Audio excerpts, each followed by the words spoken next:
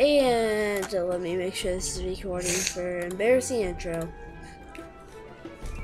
Um, whoops. Sorry, no music. Oh, man.